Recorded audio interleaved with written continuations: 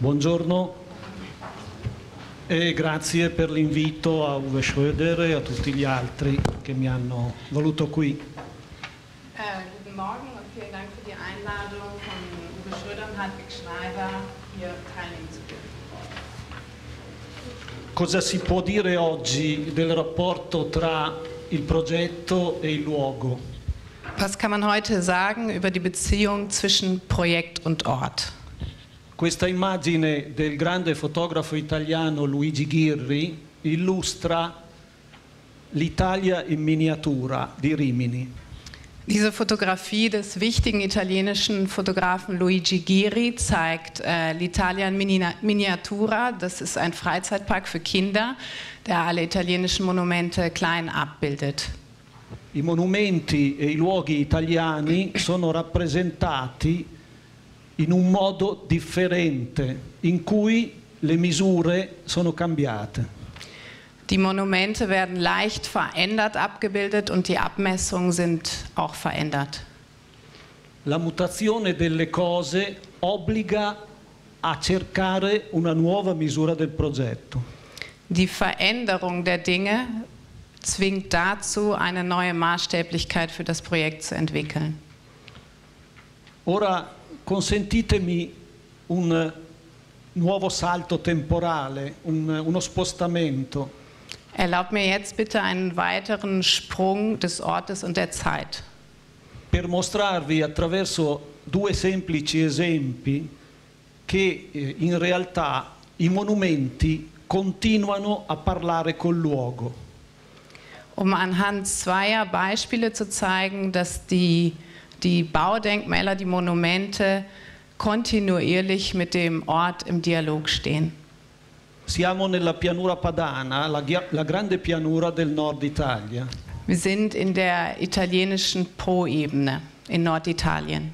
Questa città è Sabioneta, fondata nel 1560 da Vespasiano Gonzaga. Diese Stadt ist Sabioneta, gegründet 1560 von Vespasiano Gonzale. Su un lato della piazza d'armi Vespasiano costruisce la Galleria degli Antichi. Es gibt die Galleria dei Antichi, die auf der einen Längsseite der Piazza degli Armi gebaut wurde. Si tratta di un edificio straordinario che è disposto su due livelli, a terra e al primo piano. Es handelt sich dabei um ein ganz besonderes Gebäude, das auf zwei Niveaus organisiert wurde, im, Erdgesch im Grundgeschoss, Erdgeschoss und im Obergeschoss. Il percorso a terra collega la città con i campi e le misure dei campi che hanno preceduto la fondazione della città. Die Wege auf, auf dem Niveau des Grundes führen von der Stadt in die umliegenden agrarisch genutzten Landschaften und in die Maßstäblichkeiten dieser Landschaften, die schon vor der Gründung der Stadt vorhanden waren. È un percorso quindi nella terra. Es ist ein Weg auf dem Grund, auf der Erde. Al primo piano, invece, il percorso conduce lungo una galleria. Questa galleria si conclude con una finestra. Dagegen führt im ersten Obergeschoss der Weg durch die Galerie und führt direkt auf das Fenster zu. È quindi un museo, un percorso nel tempo. Die Nutzung ist dabei ein Museum und der Weg ist ein Weg durch die Zeit. Infatti non ha fine. Tatsächlich hat dieser Weg kein Ende. Vediamo ora questa immagine della città di Parma e del grande palazzo della Pilotta. Sehen wir jetzt hier die Stadt Parma und den Palazzo della Pilotta. È un grande edificio fuori scala, Es ist ein großes Gebäude außerhalb der Maßstäblichkeit der restlichen Stadt, in einer größeren Maßstäblichkeit.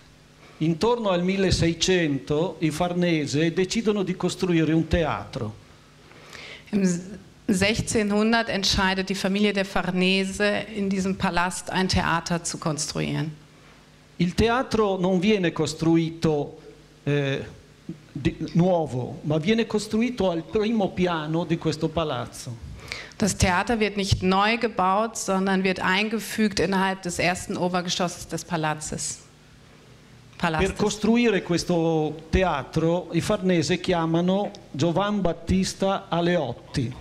Um das Theater zu bauen, ähm, beauftragen die Farnese Giovan Battista Aleotti. Non è un architetto, non è soltanto un architetto, ma un ingegnere che si occupa della regolazione delle acque, dei fiumi. Aleotti ist nicht nur ein Architekt, er ist auch ein, ein Wasserbauingenieur, jemand, der sich mit wasserbautechnischen Fragen auskennt. E quindi costruisce un teatro che in occasione degli spettacoli si riempie d'acqua. Deshalb baut er ein Theater, das äh, in der Gelegenheit der, der Vorführung mit Wasser geflutet werden kann. L'acqua è la stessa acqua dei fiumi e dei torrenti della pianura padana.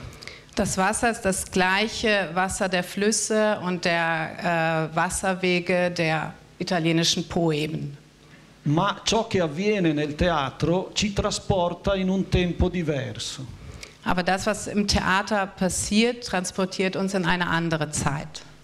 Quindi a terra la realtà, al piano rialzato la finzione. Deshalb kann man sagen, im Erdgeschoss die Realität, im ersten Obergeschoss die Fiktion. Questa doppia natura consente ai monumenti padani di rimanere ancorati al luogo, Diese doppelte Rolle erlaubt es den norditalienischen äh, Monumenten, eine besonders starke Verbindung zum Ort zu haben e di riprodursi ogni volta in modo diverso attraverso il tempo. und sich jedes Mal neu zu konstruieren oder neu vorzuschlagen im Laufe der Zeit. Si può dire che esiste una struttura esteriore e una struttura interiore dei Man- monumenti. Man könnte sagen, dass es eine äußere und eine innere Struktur der Monumente gibt. Ecco, mi sposto ancora di qualche anno. Er erlaubt sich einen weiteren zeitlichen Sprung. Quando avevo 18 anni ho incontrato quest'uomo nella piazza del Duomo di Parma. Mit 18 Jahren hat er diesen Mann getroffen auf der Piazza del Duomo in Parma. Era Jorge Luis Borges, Es war George Luis Borges, che cieco andava a vedere le sculture sul battistero di Parma. der bereits erblindet auf dem Weg war, die äh, Skulpturen in Parma zu besuchen.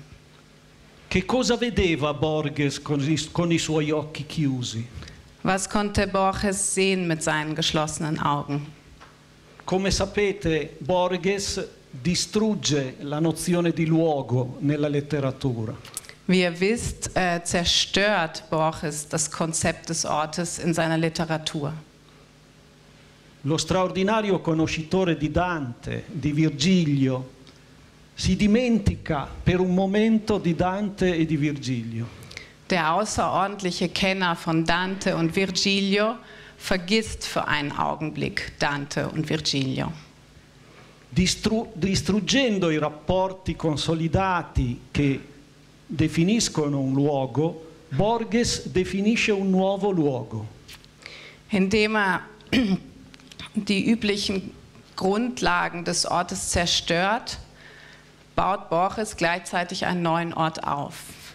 Possiamo quindi dire che il luogo si riproduce continuamente e si modifica, ma non si estingue. Man könnte also sagen, dass der Ort sich immer wieder neu vorschlägt und verändert, aber nie ganz verschwindet. Borges legge nelle sculture del Battistero di Parma ciò che è stato e ciò che sarà. Borges liest in den Inschriften der Skulpturen des Battistero das, was war und das, was sein wird. Per vedere questo non, non sono necessari solo gli occhi, ma è necessaria la mente, è necessaria l'anima. Um das zu sehen, braucht es nicht nur die Augen, sondern den Geist und die Seele. Ora consentitemi un nuovo salto temporale, un nuovo spostamento geografico. Jetzt erlaubt mir bitte einen neuerlichen Sprung in der Zeit und in der Geografie. Cerco di farvi qualche esempio per definire il concetto di luogo. Erlaubt es mir, äh, einige Beispiele zu zeigen, die das Konzept des Ortes illustrieren können.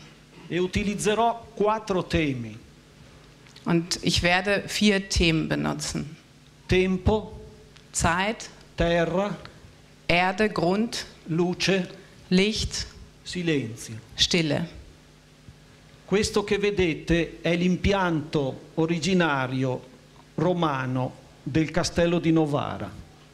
Das, was ihr seht, ist der ursprüngliche Fußabdruck, Grundriss des äh, Castello von Novara, des römischen Ursprungs ist. Tutta la città si è sviluppata a partire da questo quadrato. Die ganze Stadt hat sich entwickelt äh, basierend auf diesem Quadrat. Questo è il castello di Novara nel momento in cui 15 anni fa mi sono occupato della sua ricostruzione. Dies ist das äh, Castello von Novara vor 15 Jahren, in dem Moment, als ich mit seiner Rekonstruktion beauftragt wurde. Il cantiere è stato in questi anni contemporaneamente un cantiere di progetto e un cantiere di scavo.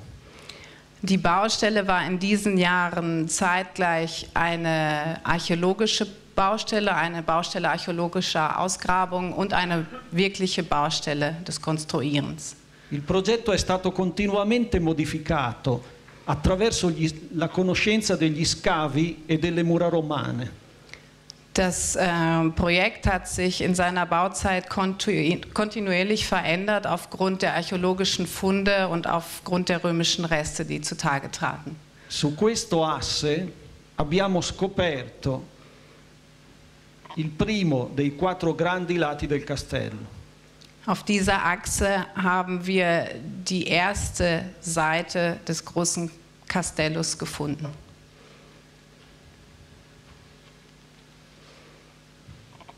Ecco, questo asse è quello che io vi sto indicando.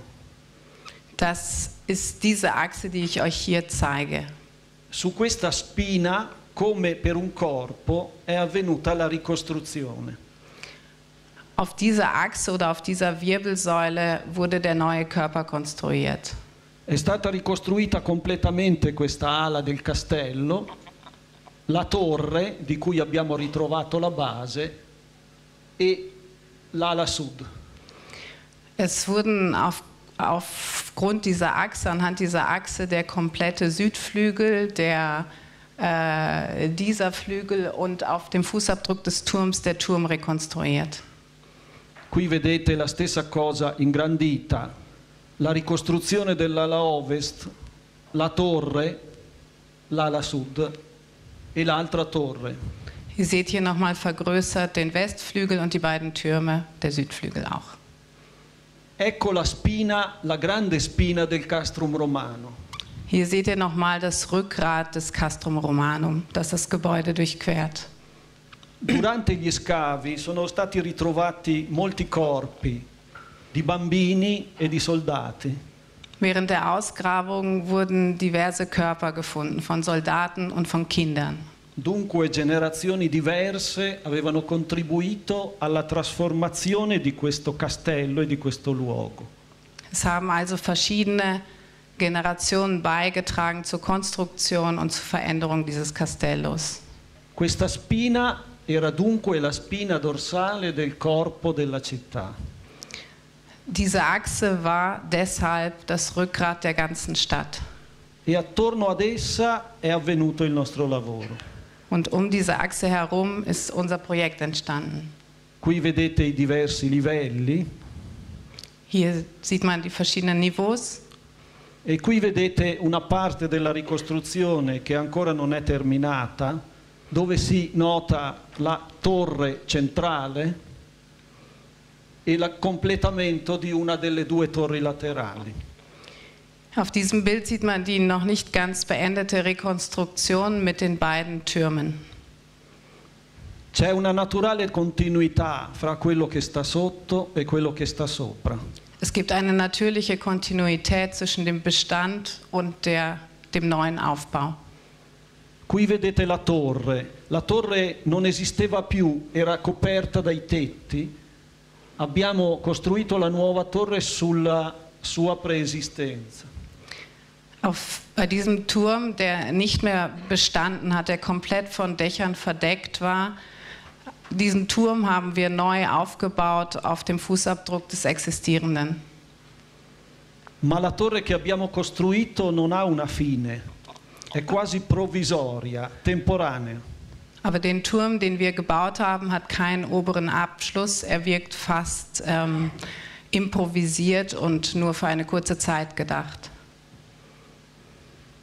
Il rapporto fra le due torri. Die Beziehung zwischen den beiden Türmen,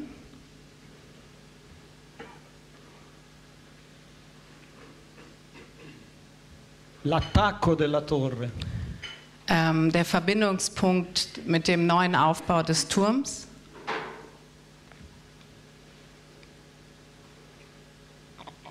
La torre ha una terminazione, ho detto, provvisoria, temporanea, una grande stanza aperta, fredda, che consente di vedere la cupola antonelliana.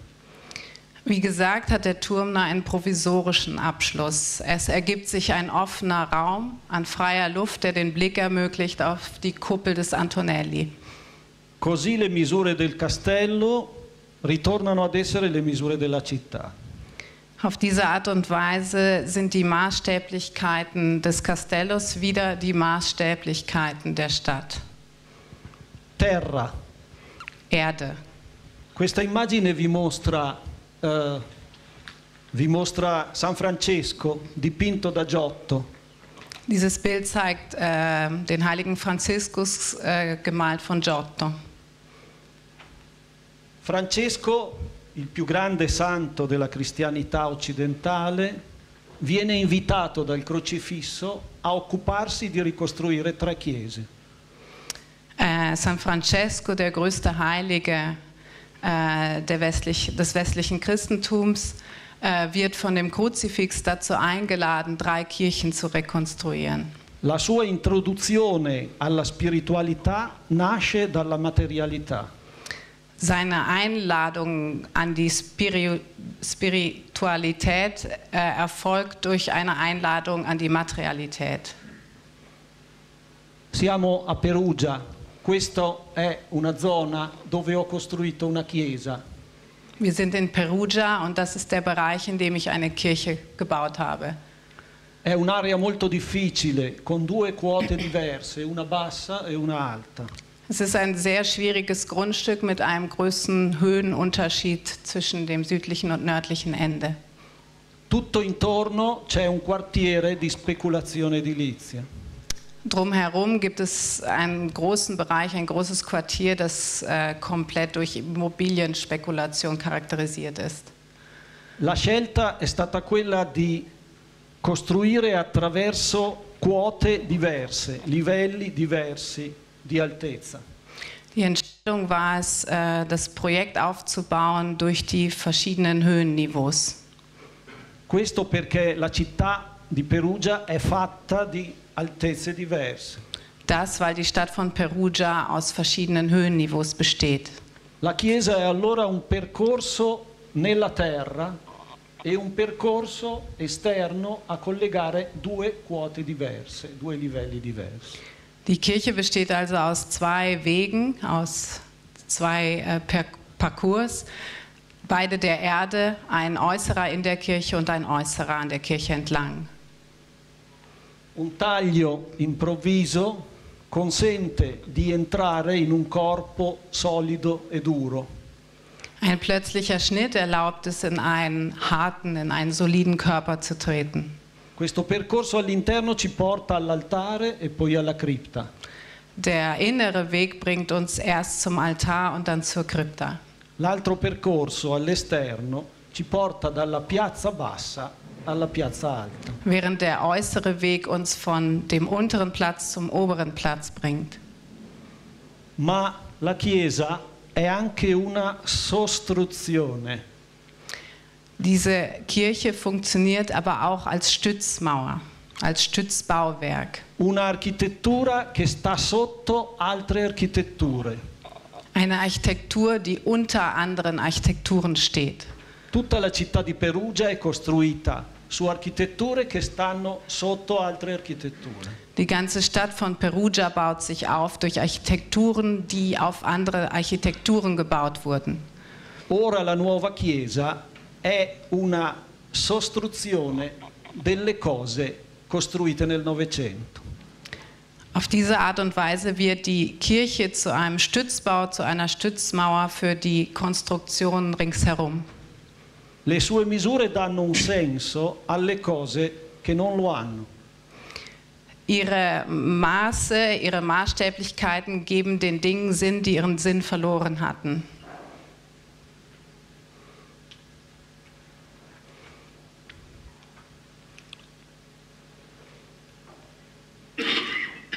La città si appoggia sulla nuova Chiesa. Die Stadt stützt sich auf die neue Kirche. Il percorso interno, invece, attraverso la luce, ci porta dentro la terra. Dahingegen bringt uns der innere Weg, geleitet durch das Licht, ins Innere der Erde.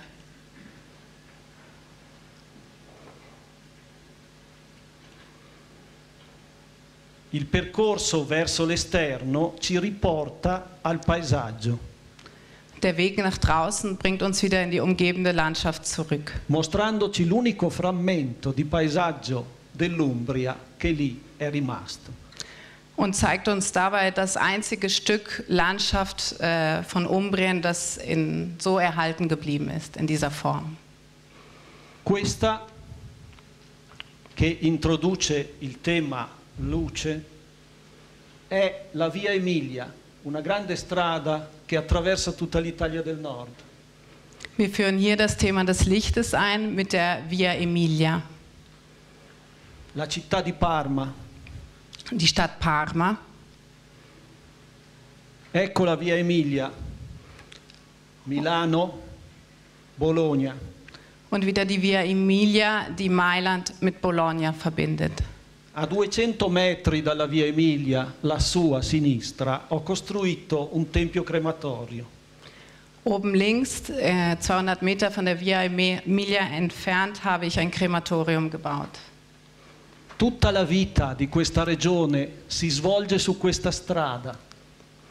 Das ganze Leben dieser Region spielt sich auf dieser Straße ab. Ecco il tempio, Der Tempel ecco la via Emilia. und die Via Emilia. Il tempio è un luogo di trasformazione del corpo e allora ho pensato che dovesse essere un percorso. Der Tempel oder das Krematorium ist ein Ort der Transformation des Körpers und deshalb habe ich dieses Gebäude als Weg Un konzipiert. percorso esattamente parallelo a quello della grande strada. Ein Weg, der exakt parallel zur Via Emilia verläuft. Infatti nel recinto si entra in questo modo e si arriva al Tempio. Man tritt in die Einfriedung ein und erreicht den Tempel. Nel primo quadrato il corpo viene salutato, Im ersten Quadrat wird der Leichnam begrüßt.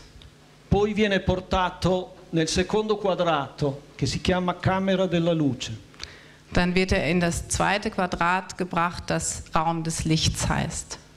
Poi passa nel terzo quadrato in cui viene trasformato. Und dann geht er in das dritte Quadrat über und dort wird der Körper transformiert.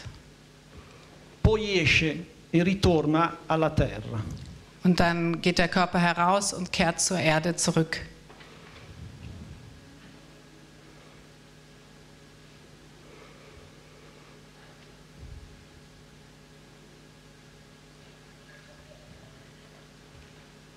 Questo è il Tempio visto dai campi. Das ist das Krematorium von den Feldern aus gesehen. La sua posizione è esattamente su un asse della centuriazione romana. Seine Ausrichtung liegt genau auf einer Achse des römischen Vermessungssystems, esattamente parallelo alla grande strada. exakt parallel zur großen Straße der Via Emilia. Così il percorso del corpo è lo stesso percorso della strada che esiste da secoli. Dadurch ist der Weg des Körpers genau der gleiche wie der der Straße, die seit Jahrhunderten besteht.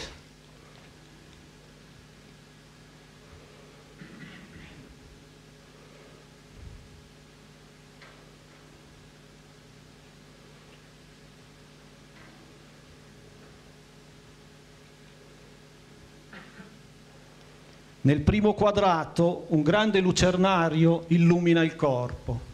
Im ersten Quadrat wird der Körper durch ein großes Oberlicht beleuchtet.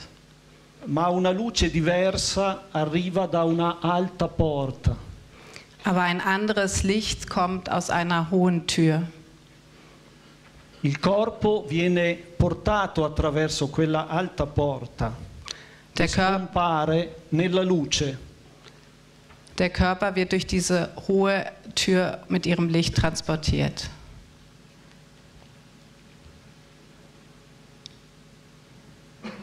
Questa luce è diversa dalla luce del giorno. Dieses Licht ist anders als das Tageslicht.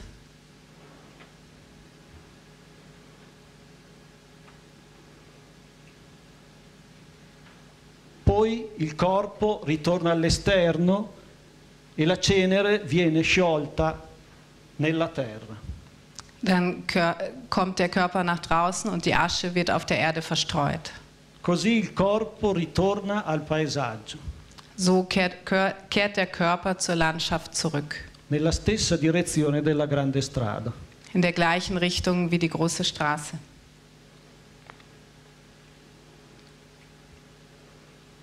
Per chiudere, velocissimo, Um abzuschließen, ganz schnell, vi mostro questa immagine della strada francigena.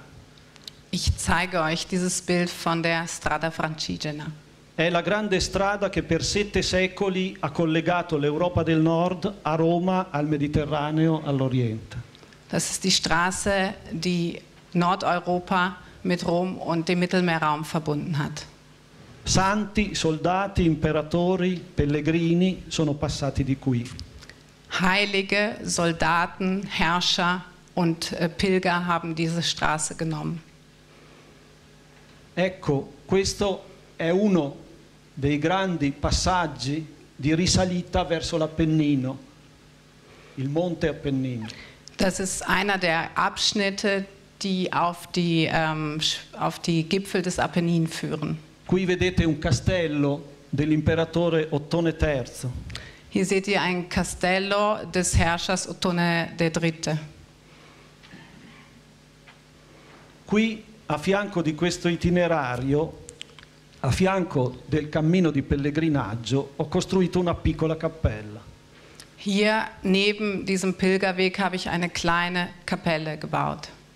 È costituita da tre elementi, un punto e due linee.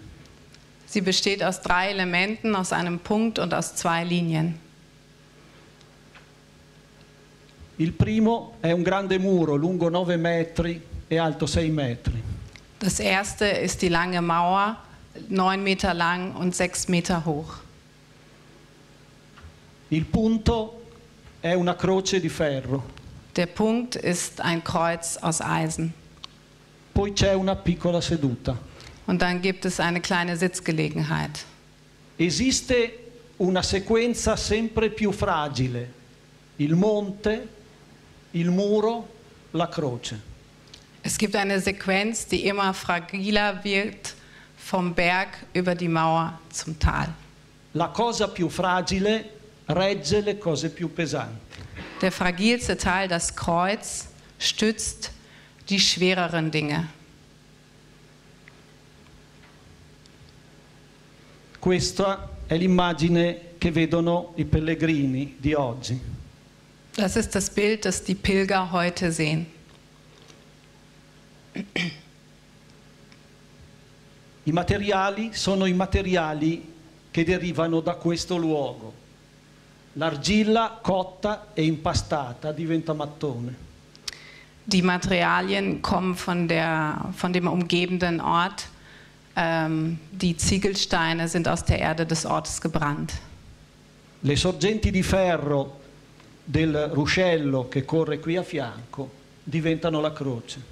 Es gibt Eisenvorkommen an einem nahe vorbeilaufenden Wasserlauf, die das Kreuz, aus denen das Kreuz ausgebildet wurde. C'è un'assoluta continuità. Es gibt eine absolute Kontinuität.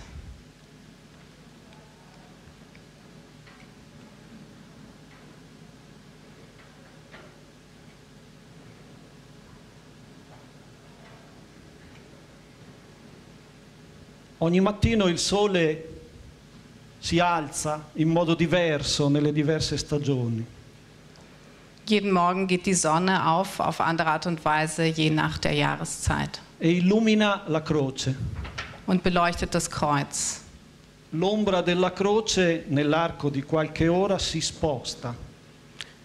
Der Schatten des Kreuzes verschiebt sich im Laufe der Stunden.